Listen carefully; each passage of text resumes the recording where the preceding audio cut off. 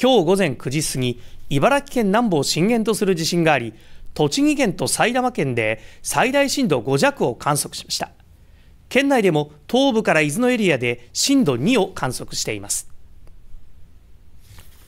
今日午前9時8分ごろ茨城県南部を震源とする地震が発生しました。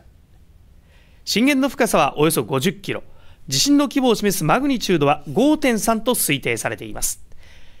栃木県南部と埼玉県北部で震度5弱茨城県南部と北部群馬県南部などで震度4を観測しました。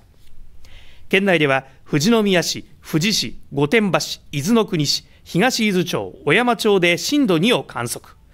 静岡市駿河区、静岡市清水区、浜松市浜名区、沼津市、熱海市、三島市、伊東市、藤枝市、袋井市、裾野市、河津町、松崎町、西伊豆町、神南町、清水町、長泉町、川根本町で震度1を観測しました。